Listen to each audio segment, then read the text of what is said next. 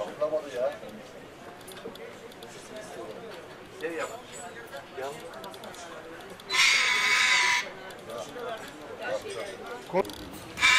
Niye kalkıyor bu? Abi burada durmaktan kendini kahve gibi zannetmeye başladı ya. Burada kahve sesini duymaktan aynen öyle o, o şekilde zannediyor kendini.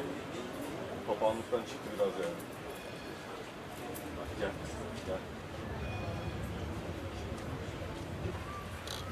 Mı sana?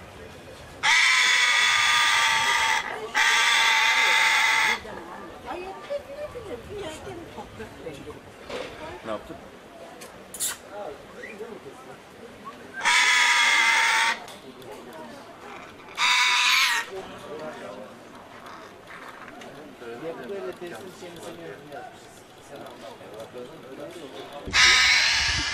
ne yapıyorsun oğlum? Ne yapıyorsun?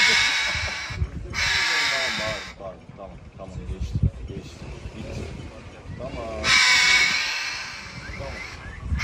Sonrasında Adana'ya gidip alıp geldik buraya. Ee, bizim dükkan beyaz eşya mağazamız var. Beyaz eşya mağazamızda hani dursun maskotumuz olsun diye getirmiştik ilk.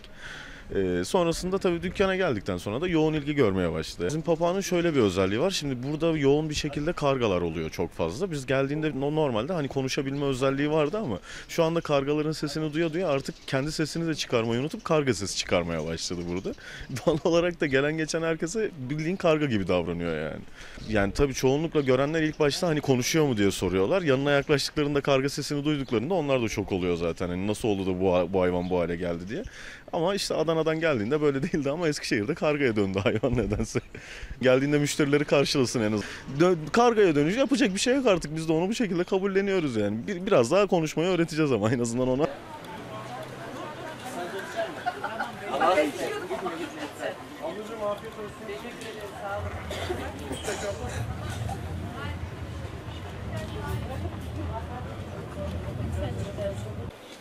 Sen iki tane söyle de.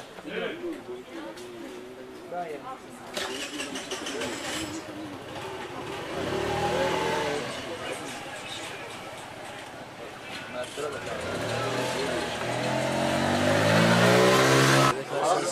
Hani benim palam?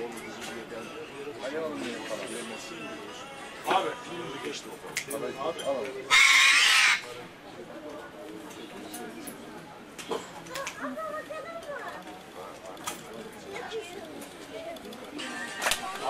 Nasılsın?